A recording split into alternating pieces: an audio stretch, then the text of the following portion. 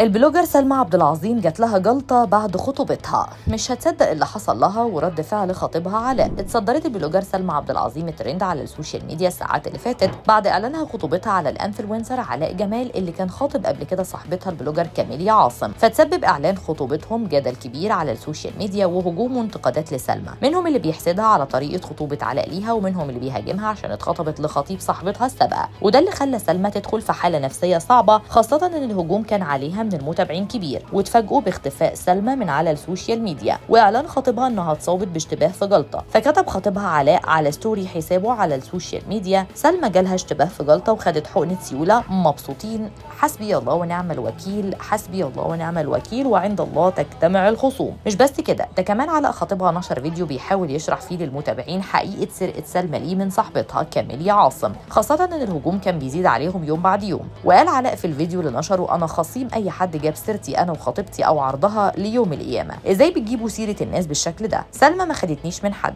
أنا كنت خاطب كاميليا والخطوبة انتهت بإرادتها قبل ما أتعرف على سلمى بثلاث شهور. ما كانش ليها أي دخل. وحاولت كتير أصلح بيني وبين خطيبتي بس هي كانت قافلة الباب تماما. وبعدها بشهور اتعرفت على سلمى بالصدفة عن طريق صحاب مشتركين. وبقينا ننزل مع بعض وقربنا من بعض أكتر وحبينا بعض. يبقى إزاي هي خدتني من كاميليا؟ وكمان هي وكاميليا ما كانوش صحاب. هي حضرت خطوبتنا مجاملة زي ما كتير من البلوجرز بيعملوا. فاتقوا الله وبلاش تجيبوا سيرتنا علشان أنا خاصمكم ليوم القيامة. كتير من المتابعين اتعاطفوا مع سلمى خاصة إنها تعرضت لاشتباه في جلطة بعد الانتقادات والهجوم عليها. مش بس كده ده كمان كتير منهم قال إن سلمى اتحسدت بعد عرض الخطوبة اللي عملوا ليها علاء. فقرر علاء يعمل لها مفاجأة بالاتفاق مع صاحبتها بمناسبة عيد ميلادها وعمل لها مفاجأة كبيرة عشان يطلب منها الجواز. وخرج فجأة من وسط الألعاب النارية على حصان أبيض كأنه الفارس اللي بتحلم بيه طول عمرها. طلب إيديها على طريقة الأفلام الأجنبية قدام كل اصحابها نزل على ركبته وقال لها ممكن تتجوزيني؟ ولبسها الخاتم. أما سلمى فكانت مصدومة من كل اللي بيحصل حواليها ومش مصدقة والفرحة مش سايعاها. وكمان كانت بتعيط من فرحة وما قدرتش تمسك دموعها وصاحباتها كانوا حواليها بيحتفلوا معاها بخطوبتها وبارتباطها. ونشرت صورهم مع بعض وعلقت وقالت ده أحلى بداية أبدأ بيها سنة جديدة في يوم عيد ميلادي. ومن وقتها وسلمى ترند ما بين المتابعين اللي بيدافعوا عنها وشايفينها ما عملتش حاجة غلط وما بين المتابعين اللي بيهاجموها وبيتهموها إنها سرقت